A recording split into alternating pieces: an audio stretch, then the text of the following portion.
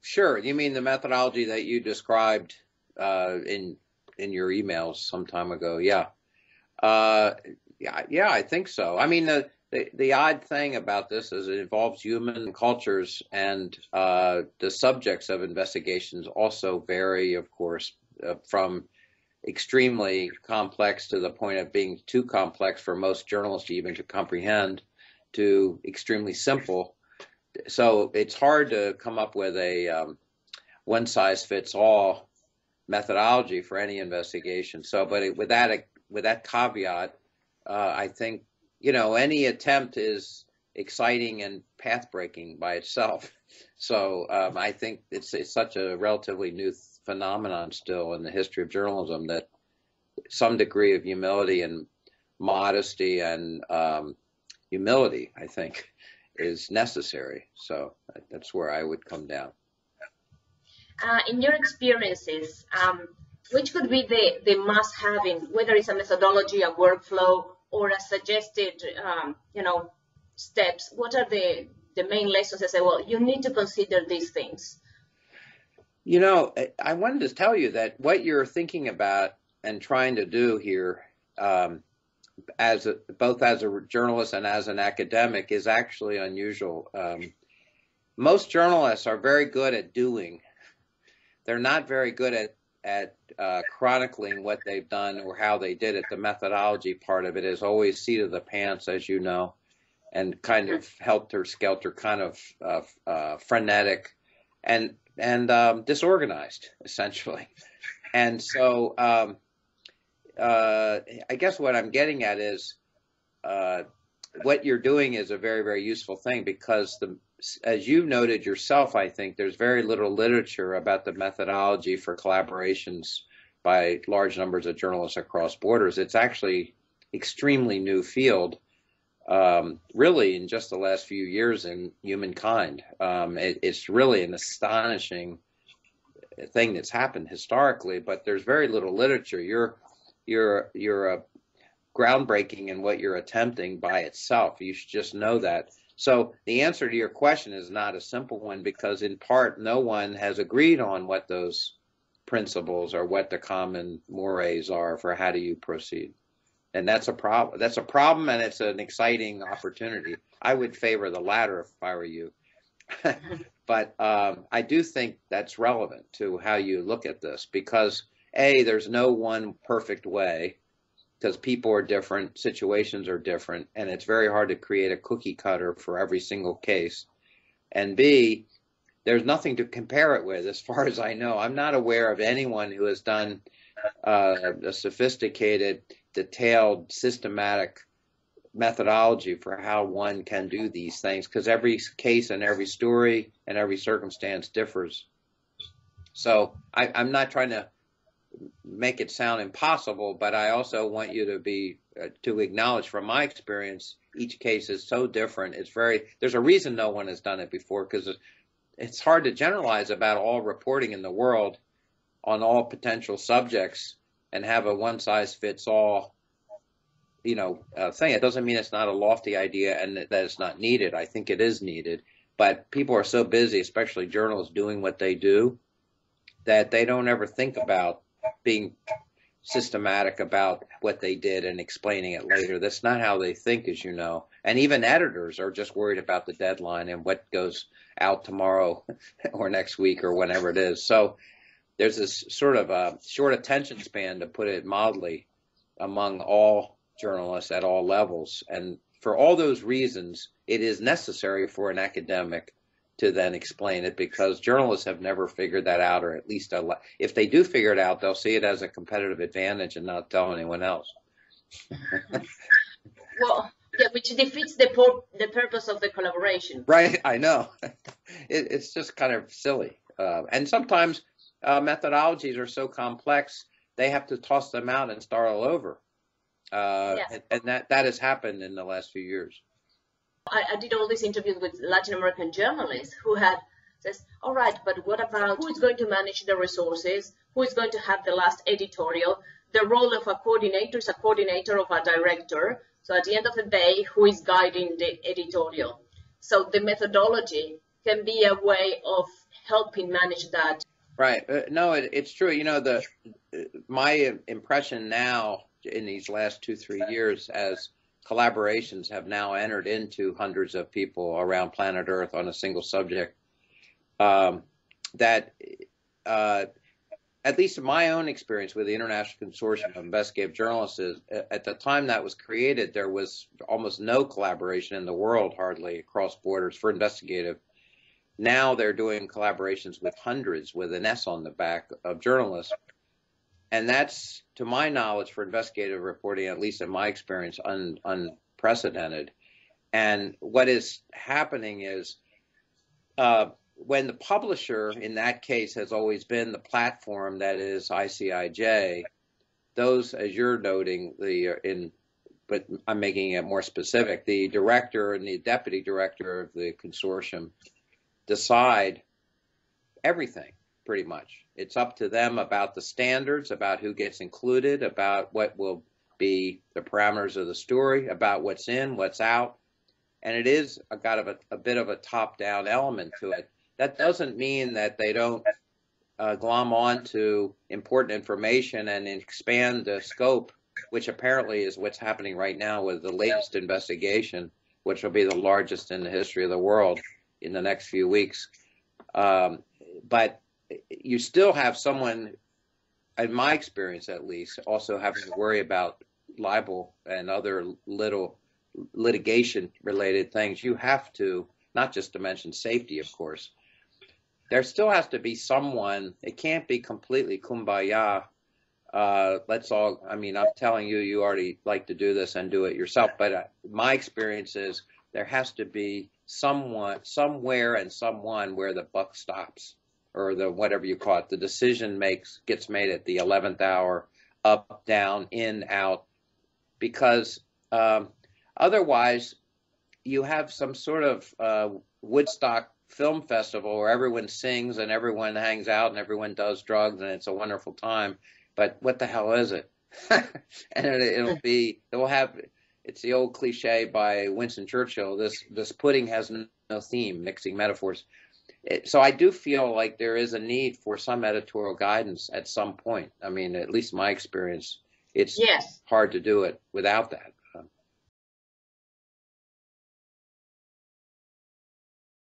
Well, I think, uh, like everything in life and human affairs, it has experience has a lot to do with experience. What I mean is the interactions of, of humans. Basically, it's very hard to, to interact with people you don't know and make pretty important decisions, there has to be some degree of familiarity. And I, I uh, my experience is that um, the only way to deal with that is to you can't foretell that and you can't predict it and you can't assume it. It does still come down to humans, at least for a few more years. And uh, I'm, I'm kidding, but uh, not entirely. Anyway, I, I do think that is a crucial, crucial element. And uh, I know that in my experiences, trust is everything, especially when you're dealing with human sources, because you're depending on another journalist to assure you that their source is ironclad and highly credible. And if you find out later that was not true, the whole house of cards could collapse based on one mistake like that, one. And it could also end up in a litigious mess or even a safety issue um, because of that. So the trust, these are in capital letters in bold face, trust, trust, trust, right? And, and I think the reason a lot of journalists, and I su- suspect my own experiences, I've, I've gravitated this way myself. I've, I'm, when I ran the Center for Public Integrity, we were known for documents and primary records, uh, which of course later then became data. that was based on that kind of uh, solid sort of cement. It doesn't mean documents can't be phon- phonied up or forged or falsified, but generally speaking, they are not. And um, that that gives some foundation to the notion that there's something here with with actual records, whether it's bank records, secret bank records, or it's whatever it is.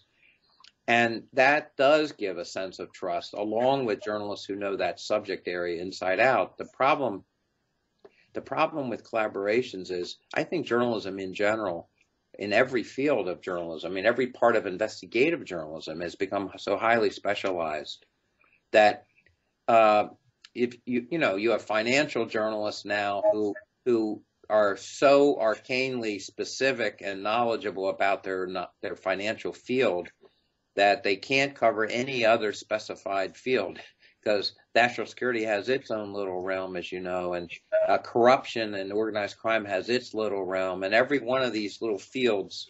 So it's very hard to do a gen- generic topic and getting lots of folks to just help out on it.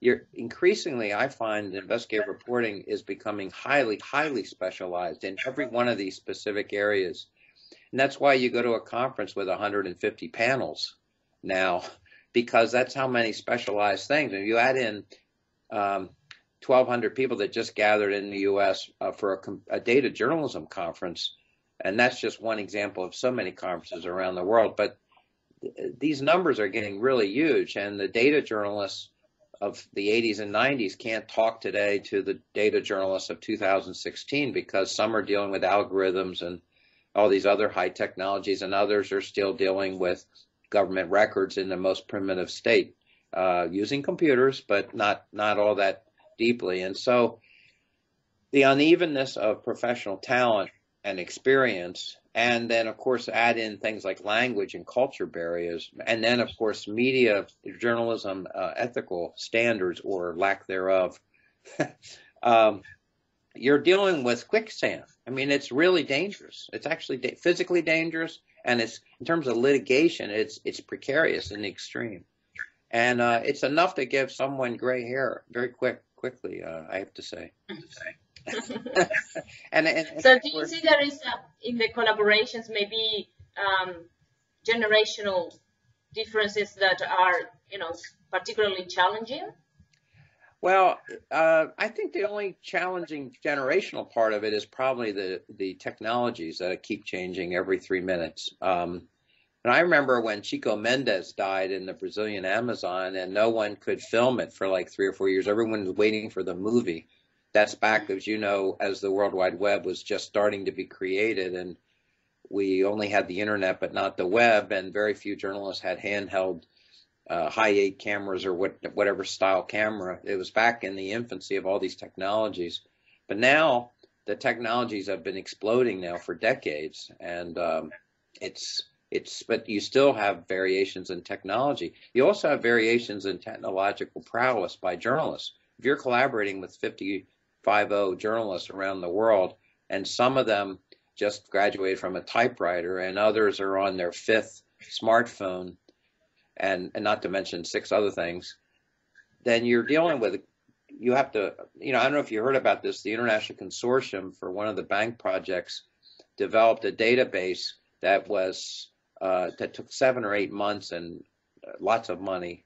Let's not even think about how much money. Um, and um, they figured out that it was too technically uh, extensive and elaborate and almost a, a labyrinth, uh, almost ridiculous way that no one could understand the database. They couldn't get into it. They the the the center ICIJ had wasted.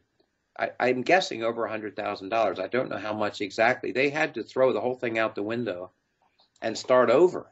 And another six to twelve months later, they had the same data organized in a more um, uh, what's the word? Uh, you know, easy to understand data set yeah. that others, all levels, highly proficient and not so proficient, could comprehend. So the logistical encumbrances to investigate reporting without technology, without collaboration even, are substantial for one person.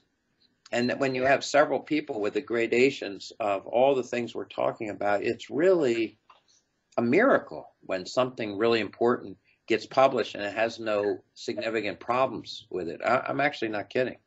Um, it's yeah. it's stunning. If we think about it, it's miraculous. There's no other word for it, and um, that's what makes it so exciting when it happens, and it happens in a magnificent way, and, and it's bulletproof in terms of credibility. No one can can say a word about it, but it's also quite precarious because you also know all the time one little thing could go wrong and the whole thing you're suddenly all smeared for being either idiots or having made a career-ending mistake by some assumption you've made. I mean, I, I think it's quite the stakes are quite high. When we talk about uh, cross-border journalism, we're basically focusing on data journalism. What happens when it's more when it's not data journalism?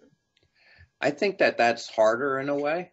Uh, I actually, uh, data journalism, everyone can look at the data and then take pieces out that affect their country or whatever their their situation.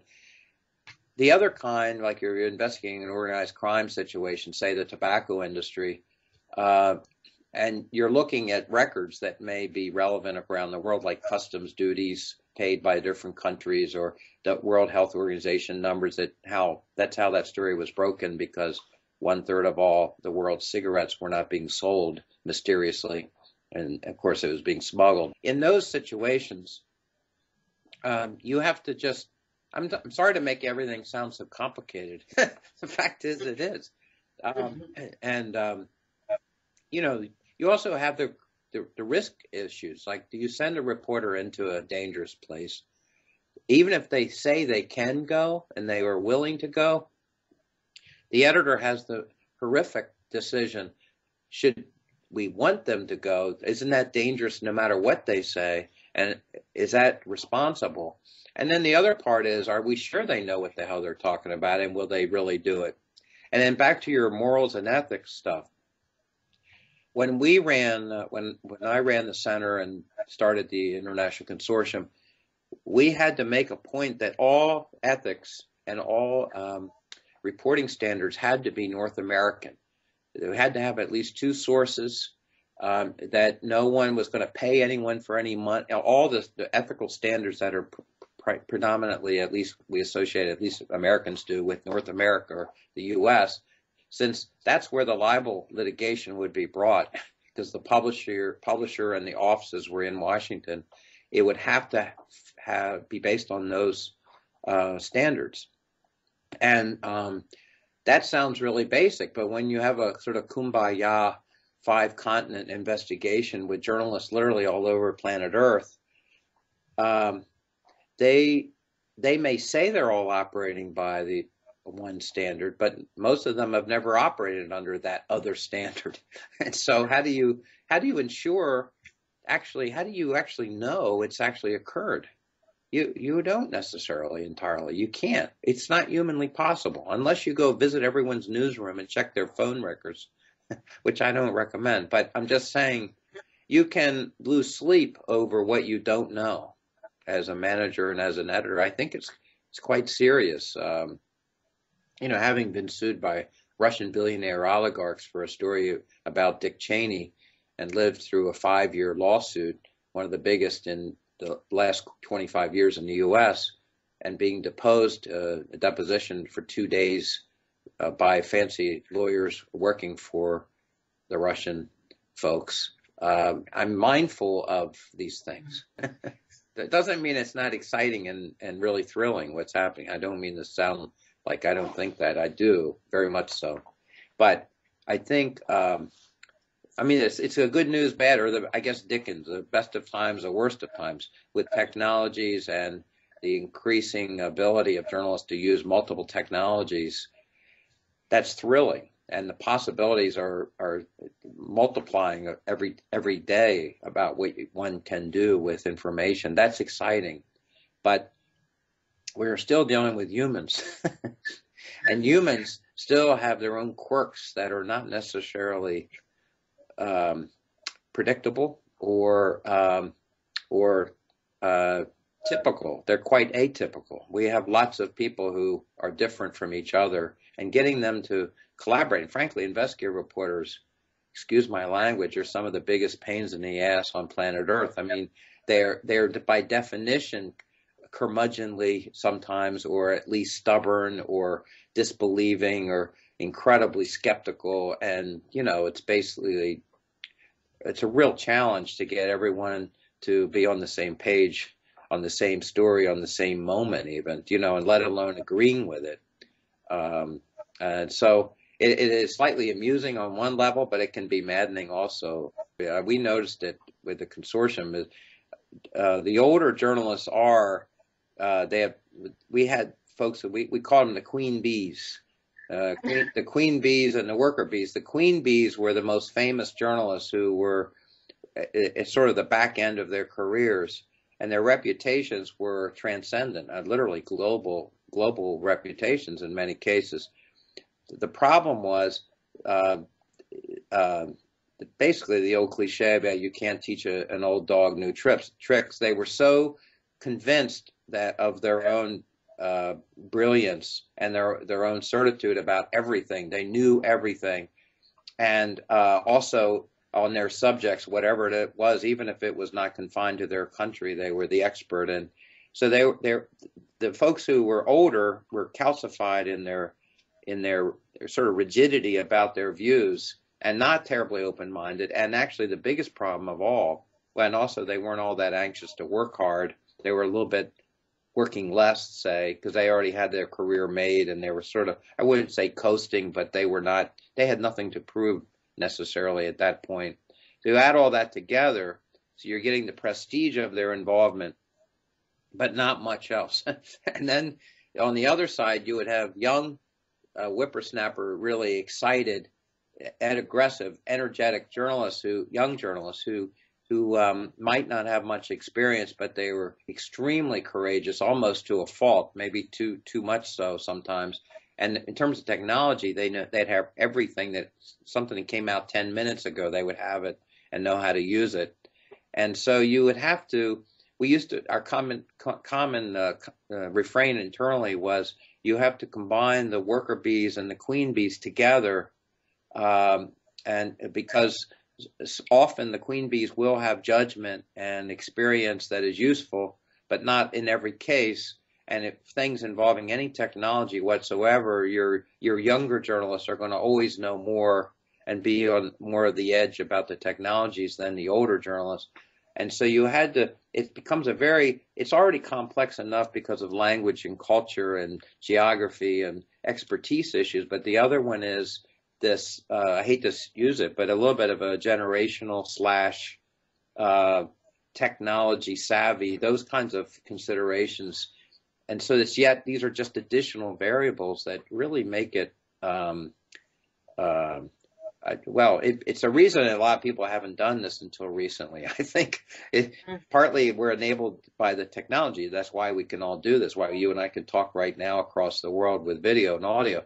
But in addition to that, um, I think journalists increasingly know that the stories they want to do go beyond one person and they need to collaborate. That's all wonderful.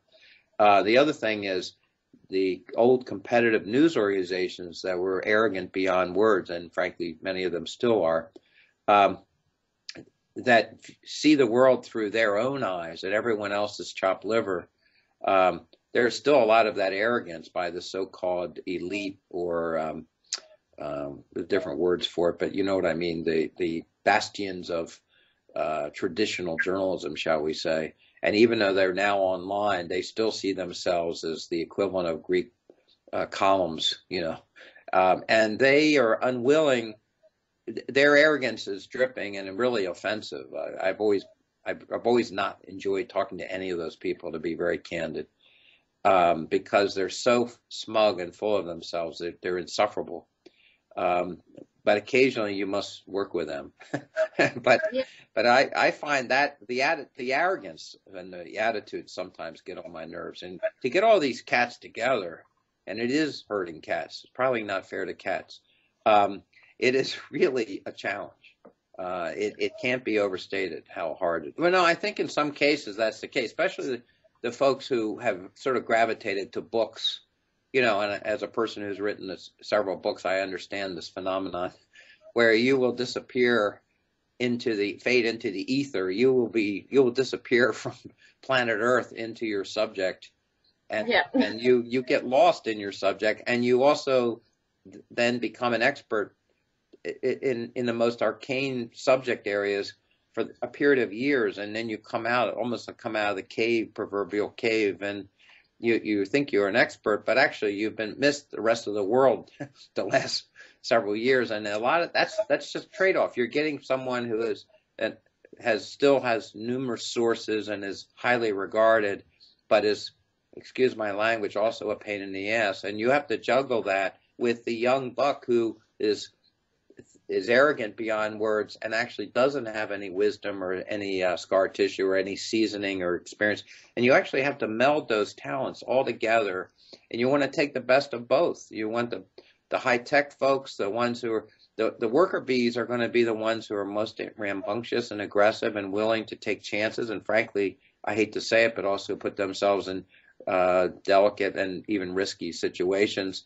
The older journalists have already done that, and they might be less inclined to do it, and they're also not as tech savvy. Uh, but they also have judgment and lots of uh, wisdom about what has tra- transcended the last few years and decades. That's context that is quite useful.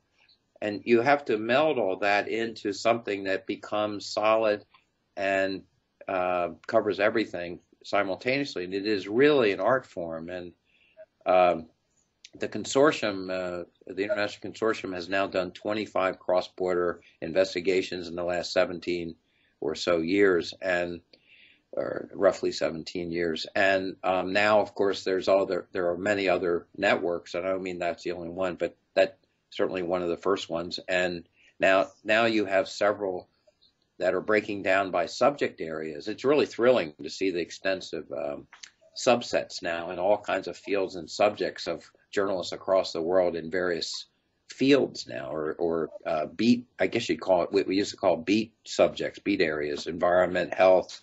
And so it's actually a thrilling time, but uh, it wasn't always as it, it's it it's really makes everything I described look kind of quaint, like uh, discuss this you know discussing the dinosaur era of journalism or something. But because it's now changing so fast, you have subset genres of expertise across the world now that are starting to evolve, and uh, I actually think that's thrilling to watch, and it's necessary. We we live in a peculiar world where journalism is defined by has historically been defined mostly by geography, what city, what country, uh, and uh, the issues of our time around the world obviously transcend geography, and um, and the beauty of the web, I think, and all the new technologies of say the last 20 years have allowed us to look more broadly for the first time. That's also what's helped to disrupt uh, all the media companies and their bottom lines. But the other side of it editorially is I think it's to widen the aperture of the possible by all journalists. And that's thrilling by itself. And that's historic by itself. We've never had a a way to look at the world and then divide it into subsets and then have journalists across the world on any subject develop information about that subject. It's never happened before. And if you think how new this is, it's really in the last 10 or 20 years of humankind. I mean, it's really an astonishing thing. And you know, I, I teach international investigative reporting uh, at American University here, and I uh, we were looking at timber, the timber industry, and uh, the relationship with China and uh, certain parts of, of South America, and um, it, they're the biggest uh, importer of of timber, I guess, from South America I believe. And um, I know we were only looking at two or three countries, not the whole continent. But um, but I know that. So I was trying to think, in part of what you wrote about the relationship between Australia and uh, Latin America and how you could relate those things. I mean, it's clear that there are powerful corporate interests that traffic in both places.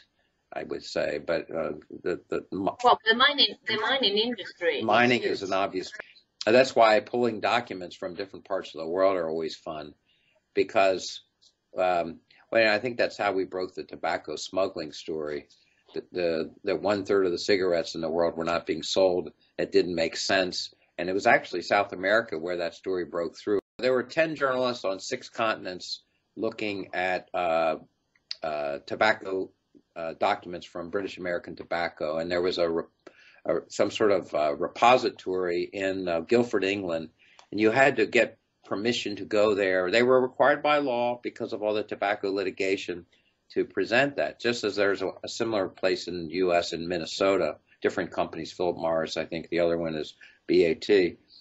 So they had to, if you wanted to go look at their documents, you had to make an appointment between like 10 o'clock and 2 o'clock, three days a week or some silly thing. It was way out of outside London somewhere, and and so one of the world's great journalists, Duncan Campbell, went there, and the, he and the head of the International Consortium, Maud Beelman, had figured out that one third of the world's cigarettes were not being sold, and it made absolutely no sense. And of course, the the industry, the tobacco industry, said they were trying to find out what was happening to their cigarettes, which of course is ludicrous. No one manufactures billions of extra cigarettes that aren't being sold year after year.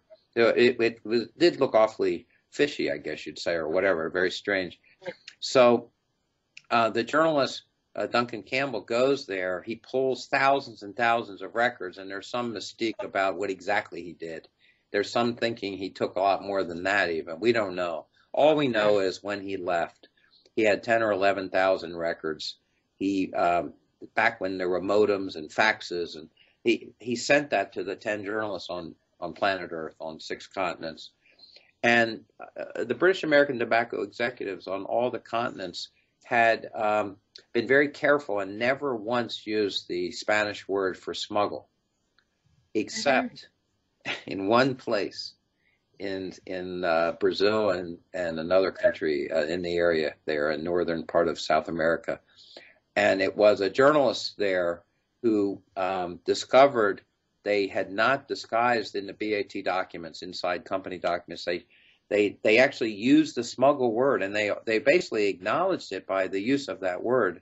What they were doing, they were using third-party cutouts in places like Aruba, people that smuggle guns, you name it, anything, drugs, guns, I don't care. And yes, they were also doing tobacco that had not been otherwise sold, and they were avoiding customs duties, saving billions of dollars in taxes on planet Earth, not just South America and yeah. smuggling globally, not just in South America. But anyway, that document is what we used for that report, and it went viral like within minutes around the world. And criminal prosecutions were or criminal investigations yeah. were announced in Brazil, Argentina, and Britain. The process was that a journalist in Colombia saw it, and uh, er, they uh, the, we all cons- we basically protected the person's name because we were afraid that journalist would be in, at risk, which I think wasn't crazy. I think it, it's possible that would have, would have happened. So anyway, that's a case of everyone looking and one person being able to see something and having something no one no one else spoke Spanish